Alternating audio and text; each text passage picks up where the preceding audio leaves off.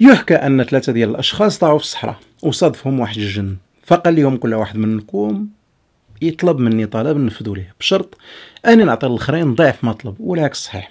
فاسأل الأول أنت شنو بغيتي؟ قال لي أنا بغيت مصنع ديال الهريسة. فعطاه مصنع ديال الهريسة وعطى الاخرين صحابو جوج ديال المصانع لواحد فاسأل الثاني وأنت شنو بغيتي؟ قال لي أنا بغيت بنك في إفريقيا. فعطاه بنك في إفريقيا وعطى الاخرين جوج ديال الأبناك لواحد فوصل الآخر وسولو. وانت شنو طلبك؟ بقى كيفكر وقال ليه أنا بغيتك تعمل لي واحد العين. ده عالم صايع يا من المبادئ المتعارف عليها في العالم كامل في بناء العلاقات بين الدول اقتصادية كانت اجتماعية أو سياسية هو مبدأ رابح رابح. وتقديم المصالح المشتركة العامة على المصلحة الخاصة الضيقة لكن الوضع كيختلف عند الجارة الشرقية. لأن المبدأ السائد هو خاسر خاسر المهم أنت ما تربحش وحتى أنا ماشي مشكلة ما نربحش ونخسر. البحبوحة موجودة كنبقى ناعس الفلوس كتخرج من الأرض ما كنديرش عليها مجهود فعلاش غادي نصدع راسي مع شي تجارة أو صناعة أو استثمارات أو حتى نمي اقتصاد. لكن أجي ندير راسها في الرويضة للشعوب اللي باغا تخدم واللي كتعتمد على عقول وسواعد أبنائها باش ما تزيدش القدام ونبقاو كلنا اللور وشي ما أحسن من شي.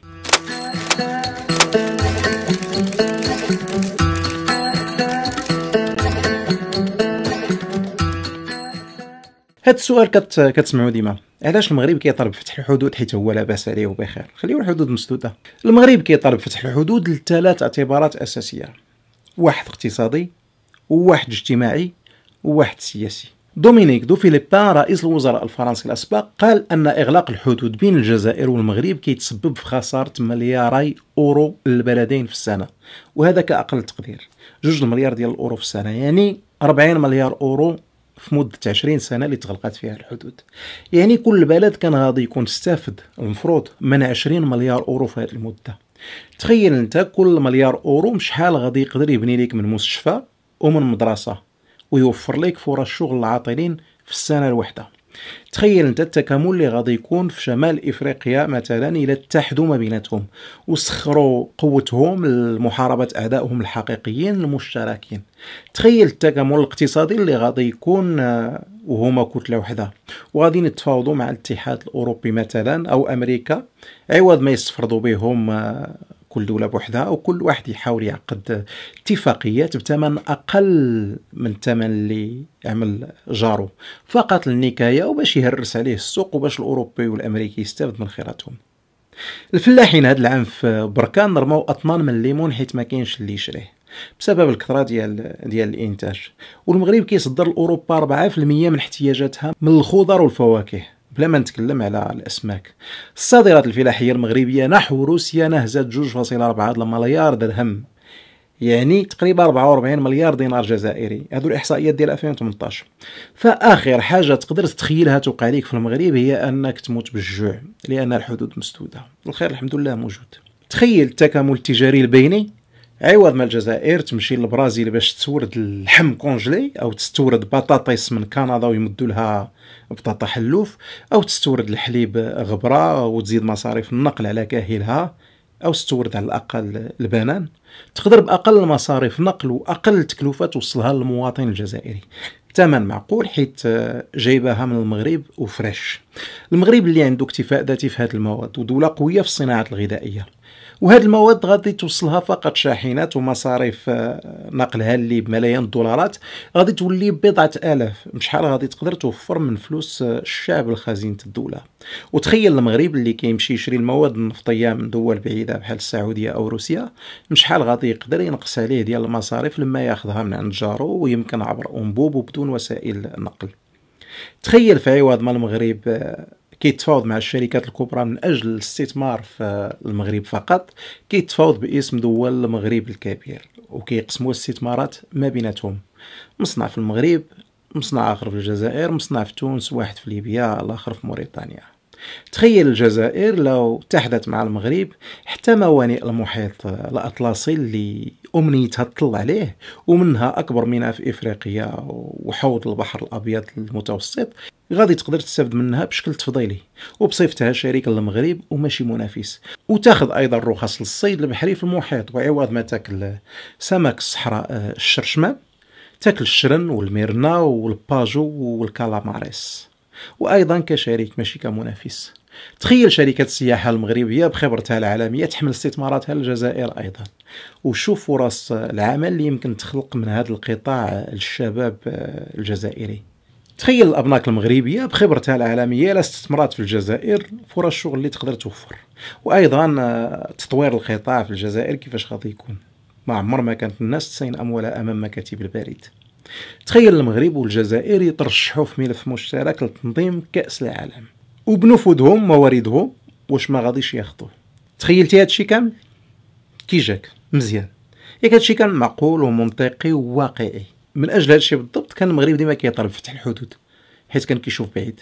كيشوف التكامل الأموال اللي كتضيع على شعوب المغرب الكبير.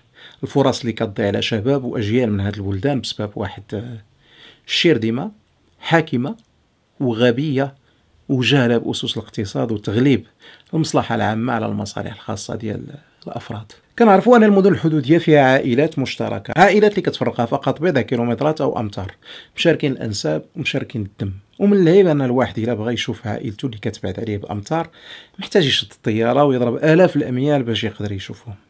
ربما أنت اللي عائلتك بجنبك ما قادرش تحس بهاد بهاد الناس. هي المسألة بالدرجة الأولى إنسانية. لكن السؤال من إمتى كان هذا النظام عنده الإنسانية باش يحس بالناس؟ ومن إمتى رباك أنت على الإنسانية باش أنت تقدر تحس بهاد الناس؟ ولهذا السبب أيضا الاجتماعي كان المغرب والملك ديالو كيطالبوا بفتح الحدود. على الأقل فكروا في هاد الناس اللي أنت ونظامك عمرك ما غادي تحس بهم أو تفكر فيهم. دابا غادي نتكلموا على الشق السياسي في الموضوع هو أهم شق في المسألة ديال المطالبه بفتح الحدود. كتعرفوا أن النظام الجزائري كيعيش حاله سكيزوفرينيا مع راسو. المغرب كان عنده مشكل مع هذا النظام بخصوص قضية الاقاليم المغربية الجنوبية. وكان كل ما كيتطرح موضوع أن الجزائر مسؤولة وهي طرف رئيس في هذا الموضوع إلا كتقول أنا خاطيني. أنا ما عندي حتى شي دخل في هذا الموضوع أنا فقط جرى ومراقب. وكان المغرب خصو يثبت عليها أنها طرف آه، رئيس وهي المسؤوله الاولى والاخرى على هذا الملف. وخصو يثبت هذا الشيء قدام المجتمع الدولي باش يحرجها. لكن هي دائما كتصر على أنها طرف محايد ولا دخل لها بالموضوع وما زالت إلى يومنا هذا بالمناسبة كتعيد هذه المسألة. تكون ديما كتسمعوها كتقول هذه الهضرة.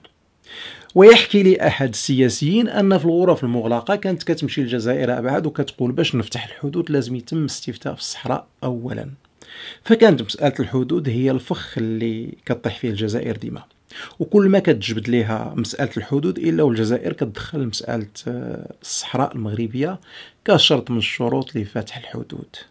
نقلت جريدة الشروق الجزائرية عن مسؤول رفيع في الدولة لم تذكره بالاسم أن للجزائر ثلاثة شروط لفتح الحدود مع المغرب وكذلك اعتراف المغرب بموقف الجزائر من قضية الصحراء الغربية والتوقف عما يراه المسؤول الجزائري سعيا إلى تغيير قواعد الاتفاق الذي توصل إليه البلد. وضعت الجزائر ثلاثة شروط أمام المغرب لإعادة فتح الحدود البرية والشرط الثالث هو أنه يجب أن يعترف المغرب نهائيا بأن الجزائر لديها موقف ثابت ولا رجعة فيه بشأن مسألة الصحراء الغربية. الجزائر كتقول للمغرب أنت كمغرب خصك توافق على أن مساندتي الانفصاليين باش نقسمك حق اصيل ليا وما تدخلش فيه. يا سلام على مخك البلالان يا بحر العلم يا ترعة المفهومية يا فيلسوف الحمير. والمغرب من طبيعه الحال كان كيرفض هذه الشروط. طبعا لأن الهدف من الطلب ما كانش فتح الحدود ولكن الهدف كان كشف تورطها في الموضوع. ومع عمر النظام الغبي أو الشعب الأغبى اللي كيكتبها ليا في التعاليق باش نكون محدد تساءل مع راسو.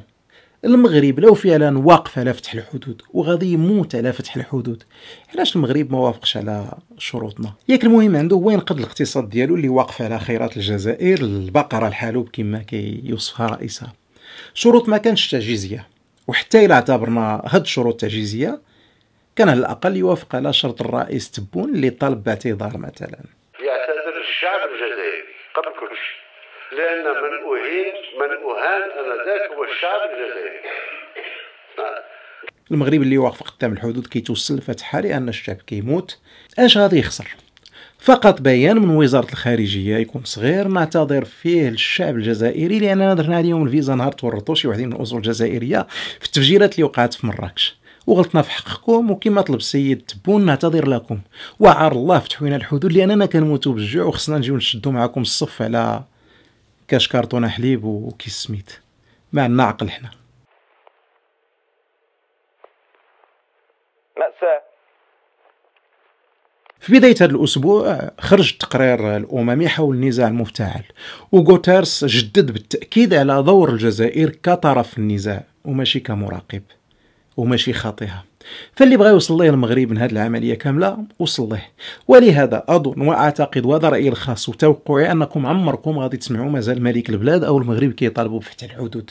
مع العلم أن آخر مرة طالب بها المغرب بحوار حول القضايا العريقة كانت في 2018 لكن اليوم واش من مصلحة المغرب فتح الحدود؟ أو من مصلحته يطالب بفتح الحدود؟ الجواب القطعي لا بتاتا. لأن أسباب فتح الحدود انتفت تماما. اولا التكامل الاقتصادي كيكون مع أنظمة مستقرة وهذا الشيء ما متحققش حاليا. ليبيا فيها الحرب تونس ديمقراطيتها الوالده مهددة بالتجاذبات الإقليمية؟ وكنتمناو تجاوزها الجزائر عندها حراك ونظامها مهتز ويقدر يكمل ويقدر ما يكملش. موريتانيا أصبحت دولة تابعة لدول أخرى وقرارها ماشي بيدها. فمع من غادي تعمل هذا التكامل؟ ثانيا كلنا شفنا هذه الأيام شحال ديال الجزائريين ولاو كيحرقوا لإسبانيا عن طريق الباطيرات. فأي فتح الحدود كيعني تصدير الأزمات؟ غادي يدفقوا لك الأفارقة والجزائريين اللي باغيين يحرقوا عن طريق سبته أو مليلية. غادي يجيك الإرهاب اللي كيسرح في الجنوب الجزائري دون حسيب أو رقيب ونظام اللي مولف الإجرام غادي يصدر لك القلاقل وكنذكروا حادثه السوريين اللي جاو رموهم على حدودنا وهي مقفولة. فما بالك بحدود اللي هي مفتوحة؟ ثالثا اقتصاد الجزائر كيعتمد على المحروقات فقط وانت اقتصادك متنوع. فالنظام الجزائري عنده حلين إما يفتح بلادو ليك وتغرقوا بمنتوجاتك اللي ما غاديش يقدر ينافسها أو غادي يقفل بلادو لأنه ما غاديش يبغيك تربح وهذا الشيء اللي متوقع منه. فغادي يصدر لك الأزمات ديالو عوض ما اقتصادك غادي يربح سوق إفريقي جديد ديال 40 مليون نسمة. غادي تربح حراقه اللي يعملوا لك أزمات اقتصادية في وسط بلادك وأزمات دبلوماسية مع إسبانيا والاتحاد الأوروبي. انت في غنى عنها إلى هجموا على سبتة أو مليلية. أما القصة المضحكة في الموضوع فهي القصة ديال ديال السياح الجزائريين اللي تحرم منهم المغرب. وكأن عملتهم مثلا كتقارن بالدولار والأورو. ماشي هي أقل عملة في المغرب العربي. السياحة اللي كيتكلمون عليها بزاف. السنة الماضية فنادق تونسيه رفضت تاخذ السياح الجزائريين لأنهم ببساطة غير مفيدين.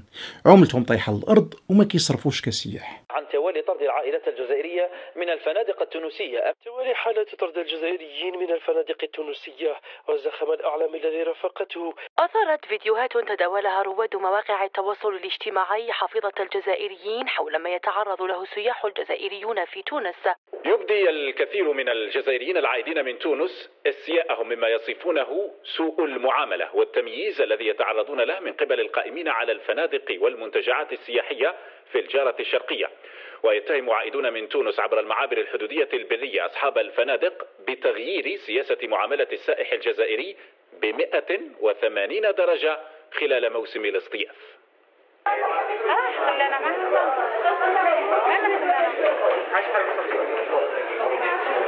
سوء المعاملة ساعات طويلة من الانتظار للظفر بغرفة.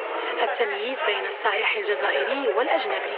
هي جملة الشكاوى التي يروي تفاصيلها العائدين من الجارة الشرقية. ولسان حالهم يقول أن استقبال الجزائريين في تونس تغير 180 درجة.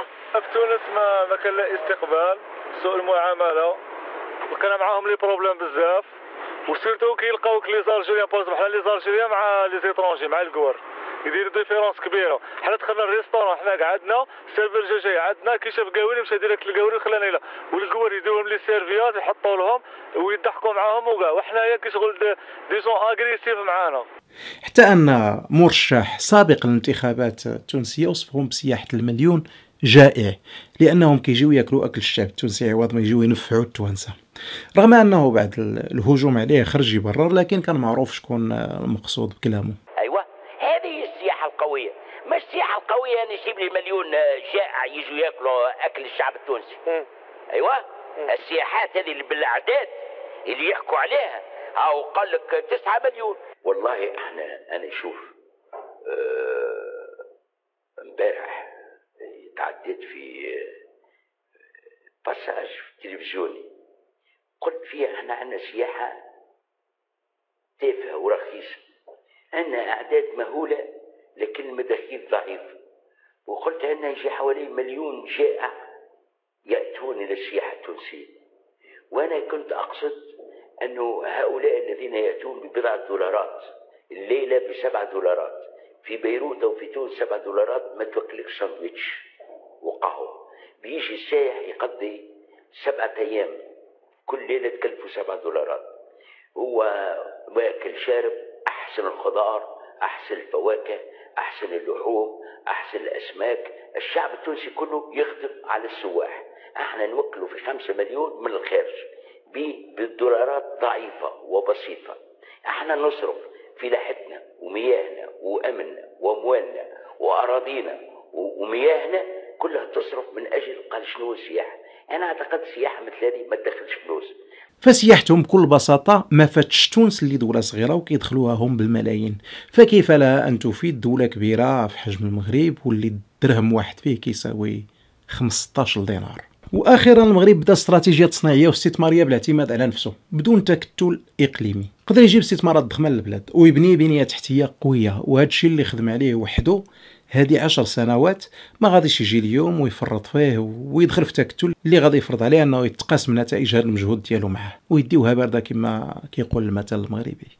ففتح الحدود إذا كان مستقبلا أنا كنشوفه فقط للحالات الاجتماعية والإنسانية ويكون عنده شروط. لكن جدوى الاقتصادية صفر. فالنظام الذي يجيد بث نعرات الانفصال والتقسيم ما عمره ما غادي يفهم المعنى ديال التكتل أو الاتحاد.